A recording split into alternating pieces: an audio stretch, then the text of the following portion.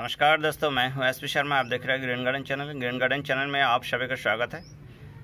दोस्तों, आज मैं आप लोग के साथ शेयर करेंगे गर्मी से आप अपना रोज फ्लावर प्लांट को कैसे बचा सकते हैं।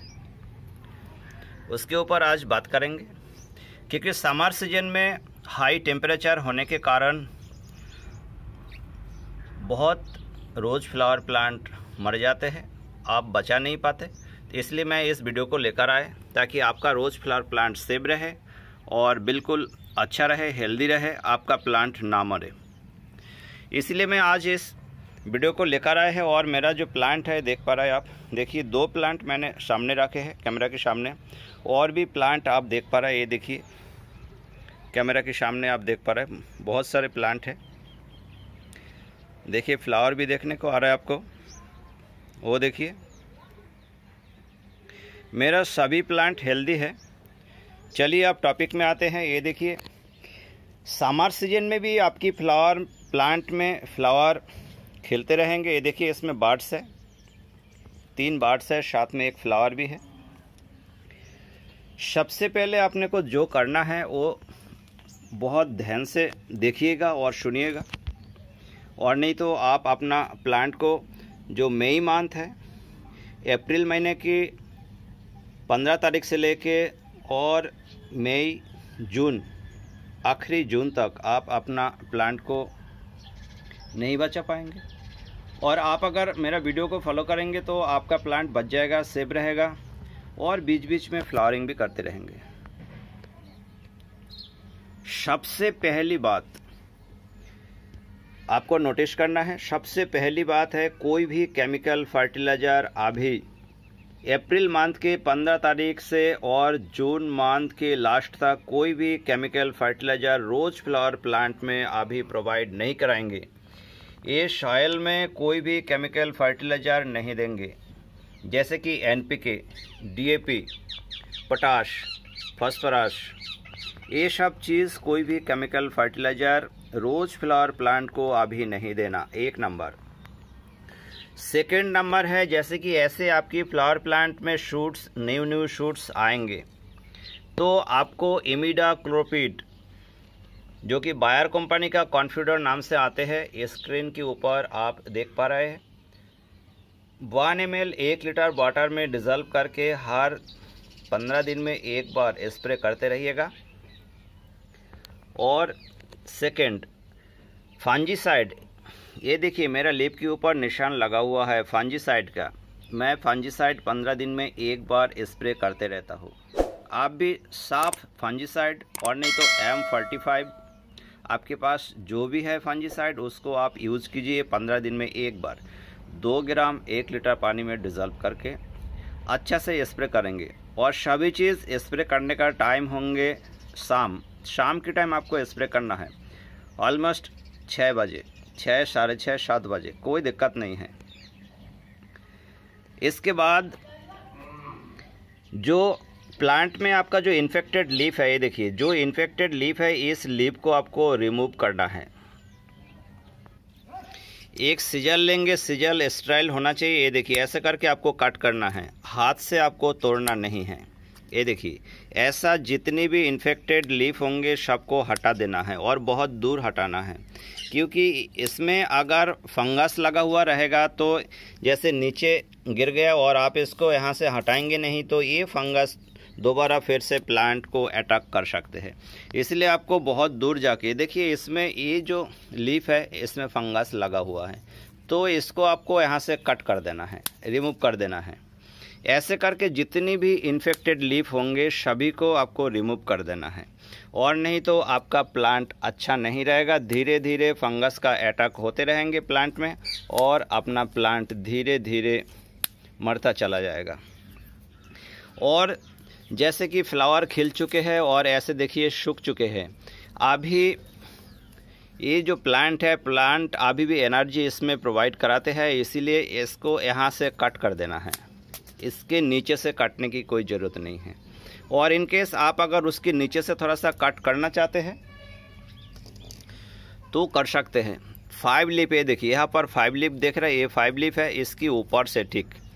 फाइव लिप को रख के यहाँ से एक शार्प कटर से कट कर देना। इनकेस अगर यहाँ से कोई ब्रांच आएँगे तो ये ब्रांच यहाँ से आएगा। ये देखिए, और एक अच्छा ब्रांच आएगा। और इस जगह पर फंजीसाइड का जो पेस्ट है, वो पेस्ट को अपने को लगा देना है।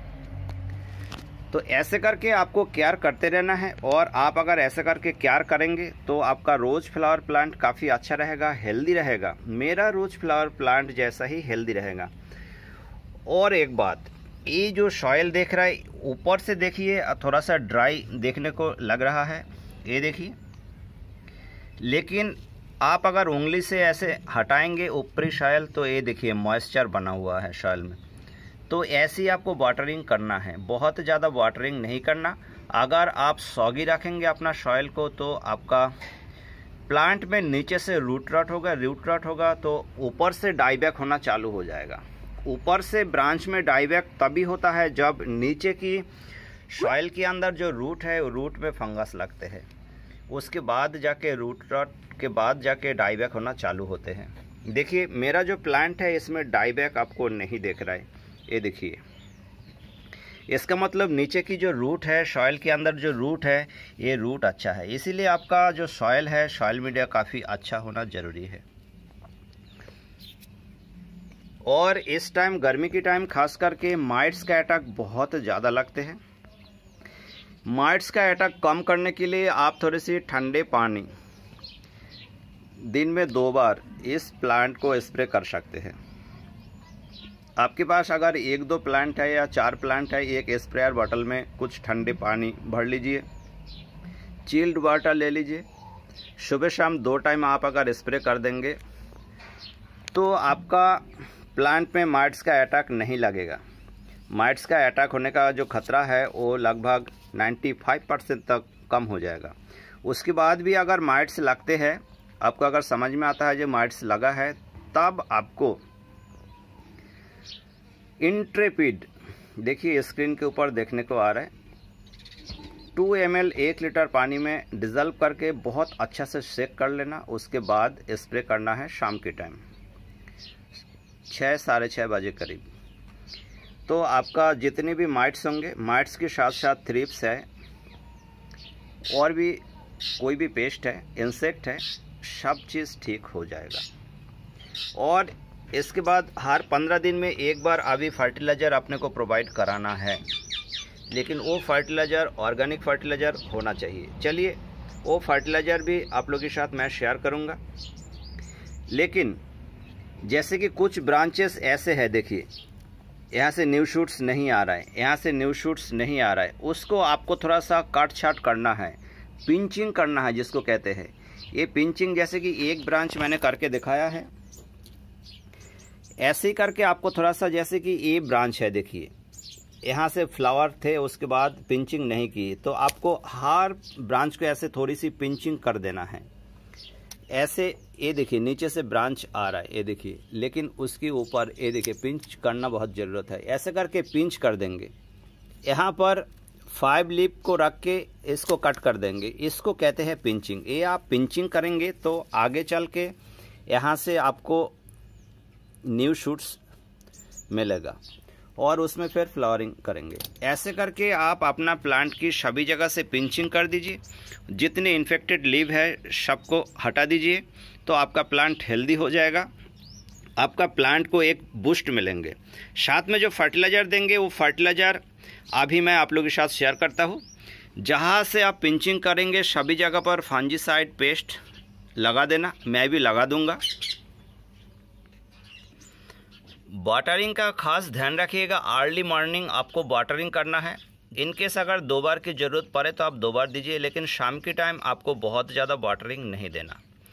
कम वाटरिंग देना है। और साथ में आपको माल्चिंग करना है। माल्चिंग तो अभी मस्ट इनकेस आप अगर माल्चिंग नहीं करेंगे तो ये जो फाइबर रूट होता है फीडर रूट होता है, ये सॉइल के ठीक नीचे, आधा एक इंच नीचे, वो रूट अगर गर्म होगा तो जल जाएगा।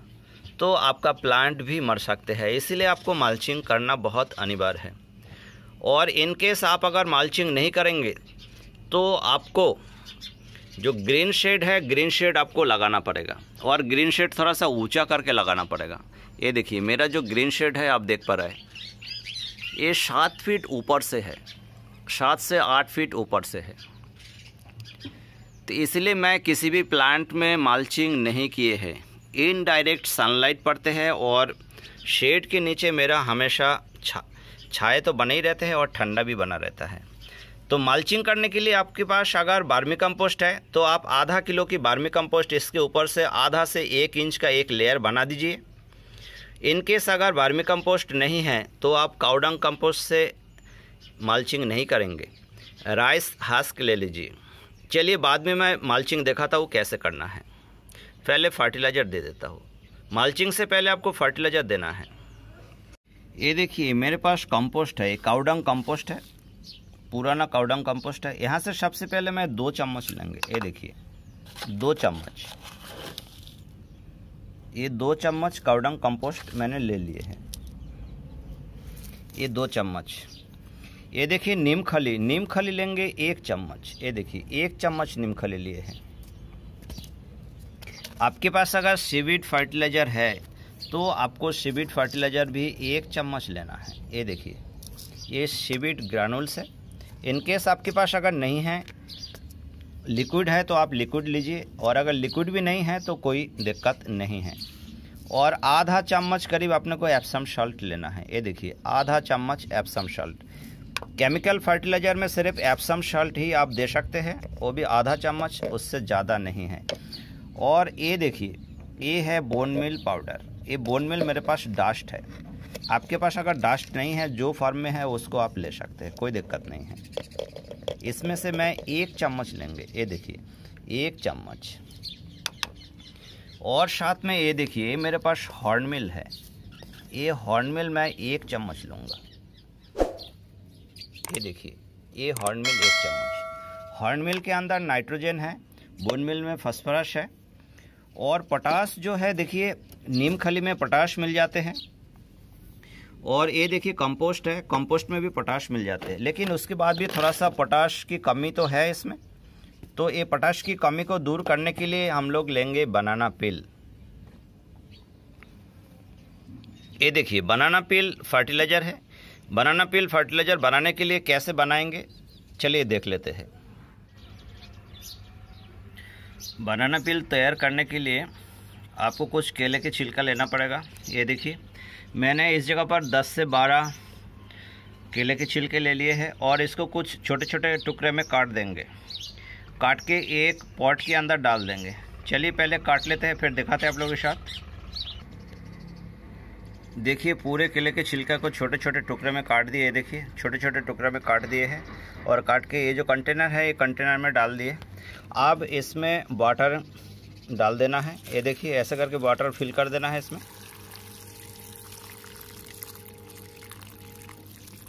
ये मैंने डेढ़ लीटर वाटर डाल दिया इसमें, देखिए।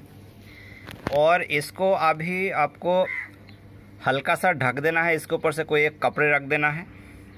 ढक्कन से नहीं ढकना और बिल्कुल छाए में रख देना है। छाए में रखने के ठीक चार से पाँच दिन बाद, क्योंकि अभी समर के टाइम है तो चार से पाँच दिन बाद इसको आप यूज़ कर पाएँगे। चलिए दोस्तों, पाँच दिन बाद दिखाते हैं ये कैसा हुआ है। ठीक पाँच दिन बाद, देखिए, ठीक पाँच दिन बाद जो बनाना पिल फर्टिलाइज़र हो, वो देखिए, बिल्कुल रेडी हो चुके हैं, तैयार हो चुके हैं। ये देखिए, बिल्कुल तैयार हो चुके हैं तो इसको थोड़ा सा मिक्स कर लेना है अपने को।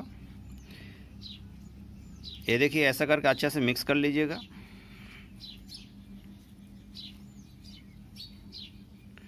और मिक्स करने के बाद इसको जो देने का जो प्रोसेस है, मैं आप लोगों के साथ शेयर करूँगा अभी। पहले अच्छा से मिक्स कर लेते हैं।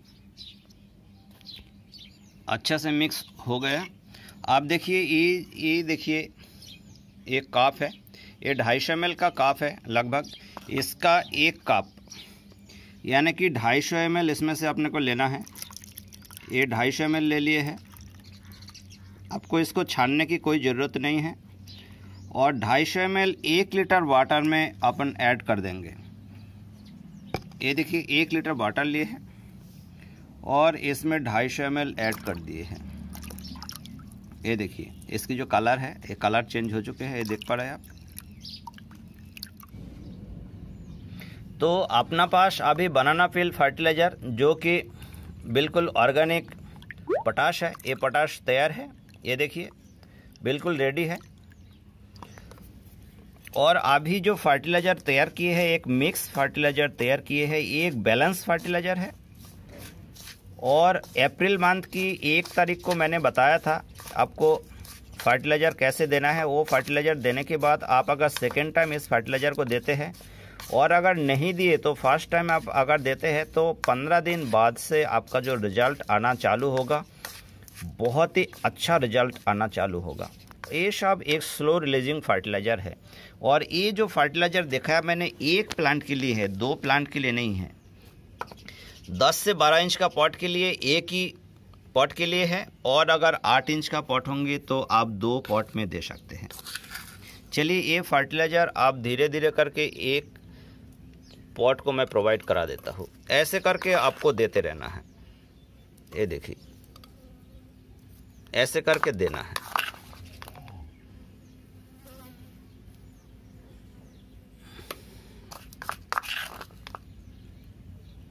तो ऐसे करके आप अगर देंगे तो आपका प्लांट का जो रिज़ल्ट है काफ़ी अच्छा होगा, बहुत ही अच्छा होगा, आपका प्लांट काफ़ी बुशी होंगे। ये देखिए, पूरे दे दिए। देने के बाद थोड़ा सा गुराई करना है। बहुत ज़्यादा गुराई गर्मी के टाइम में नहीं करना है अपने को। ये देखिए, हल्का सा गुराई इसलिए करेंगे, जो फर्टिलाइज़र है फर्टिलाइज़र ऑर्गेनिक फर्टिलाइज़र दिए है और सॉइल के साथ थोड़ा सा मिल जाना बहुत ज़रूरत है। ताकि बहुत जल्द ये सॉइल के साथ साथ मिक्स होने के बाद प्लांट इसको ले सकते हैं। ये देखिए।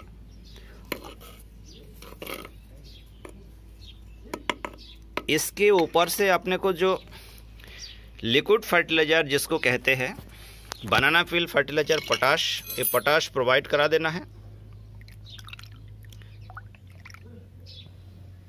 ये देखिए।